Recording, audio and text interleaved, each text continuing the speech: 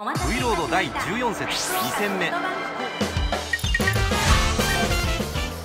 ッターボックスには城島が入っています。さあ一打先制のチャンス。まあ、先手を取って進めるためにも得点しておきたいですね。なるほど真ん中打ちました打ちました。ファールボールです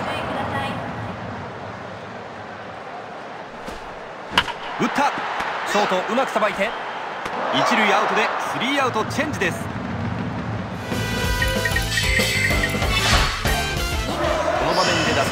山田が入ります。さあツーアウトにはなりましたがなおもチャンスは続きます。まあこういったチャンスでできるだけ差を広げておきたいのでねここはしっかりつなぎたいですよ。うんなるほど。そうですよね。打ちました。最後はレフトフライ。掴んでスリーアウトです。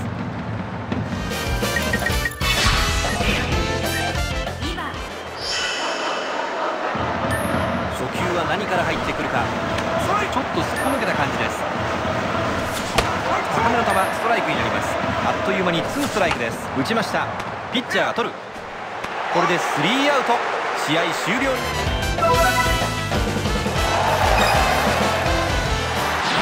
フトバンクホークスが相手打線を完璧